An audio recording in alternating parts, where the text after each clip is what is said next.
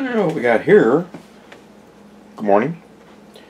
Is a Lampkin uh, 205 FM modulation meter. It was uh, probably used to set the deviation on your FM transmitter. Uh, it's pretty basic. It just has tuning and um, the way to use the meter there. There's like the tune and then the zero. I mean positive or negative for the tune to zero to center it up. Um, it's got uh, 12 kilohertz or 25 kilohertz deviation. It's an older piece. It's probably made in the 60s. I did a little snooping around. This one's in really good shape, mostly because it had a kind of a spiffy little carrying case. And uh, supposedly it tunes from about 25 meg to 400 meg, which is pretty far. it's kind of an interesting piece. I had a bit of a time finding a document on it, but I did stumble onto something eventually. Apparently it's sensitive enough to pick stuff off there. On the back it's got a ground point uh, antenna jack. There's a little whip antenna and a test point for an oscilloscope and a switch that I gather is kind of a uh, attenuator for the RF section of the thing.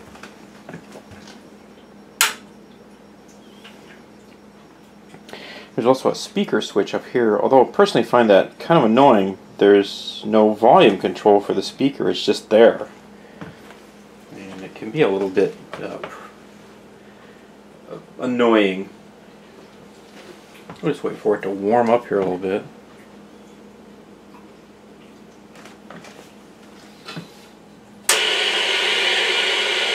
across all of the outlook Saturday night. At this time, some uncertainty remains on the timing and exact hazard thunderstorms.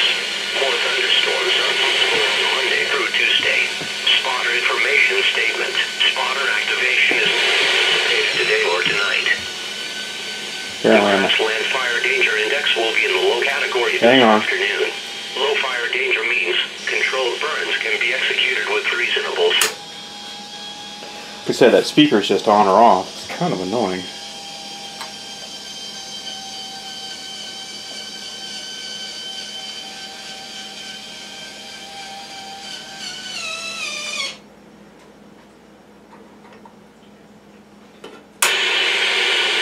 Cold front over northern Kansas and northern Missouri will move through Missouri today, bringing scattered thunderstorms to the lower Missouri River Valley into this afternoon.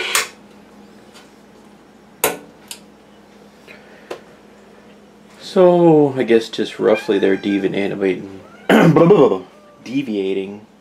That's a uh, one of the NOAA or uh, weather alert transmitters, which is a pretty good trick. That thing's actually pretty far away.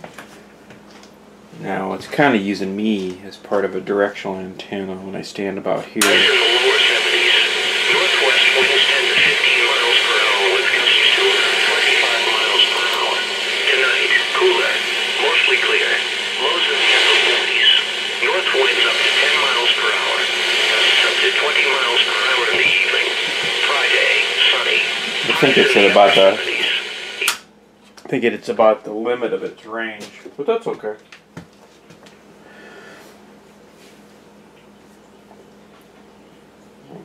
Kind of interesting that apparently this place, this Lampkin place, um, in the document there, I found out their guarantee is kind of interesting. It just says we want you to be satisfied with the piece of equipment, and we have. They don't have dealers; they sold them directly. They must have made a couple other instruments. And if you don't like it, we give you your money back. That's all there is to it. Kind of try us, like us, or hate us, your choice. It's kind of an interesting philosophy. It's not not anything like that today, really. The document is reasonably explicit, although it is short, a schematic. But that's not necessary for my Lampkin. Luckily. This thing is really in good shape. It's kind of a weird box. It's plywood, but it's got uh, it's been painted and it's got aluminum, like aluminum L bracket edging all the way around it. I'm gonna guess it was made by the manufacturer. It's part of the reason this thing has survived. Be nice if uh, all pieces of test equipment had nice sturdy boxes or cases, although it'd run the hell out of the cost, I'm sure. Even a plastic case would be nice. I some of my better pieces, I go out of my way to actually build some cases for them, just using the same technique. Just make a wood, nice little wood box with. Uh, it's got foam in it, so it doubles as a kind of a shipping container.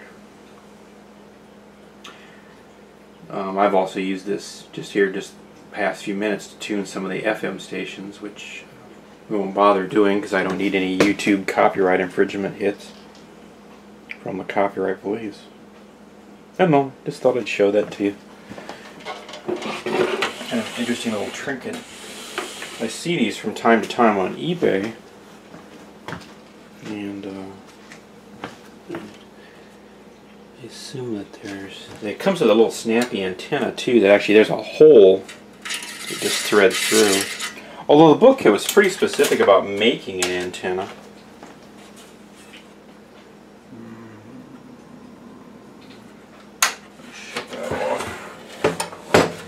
Guess there's nothing on the bottom other than looks like a power supply a lot of tubes. It looks it's all made with cloth wiring.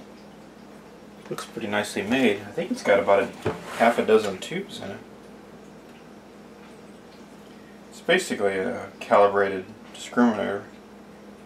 Where's the attenuator? They call it scale switch. There's a place for an oscilloscope output too.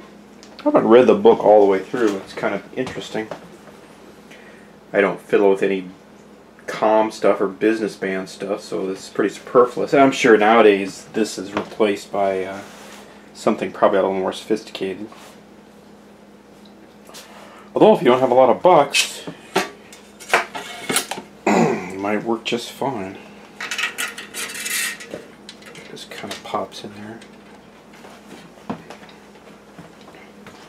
The book was kind of specific about the length of the antenna too, that uh, you know you could kind of roughly tune it for different ranges. I don't know, it's a kind of interesting piece.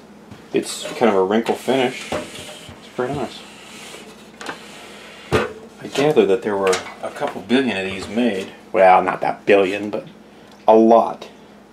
It's kind of got a coarse tuning and then a fine tuning on the output. There's a zero for the uh, deviation meter too. Like I said, my only puzzlement about the thing other than there must have been a tuning chart too. Maybe not. I don't know.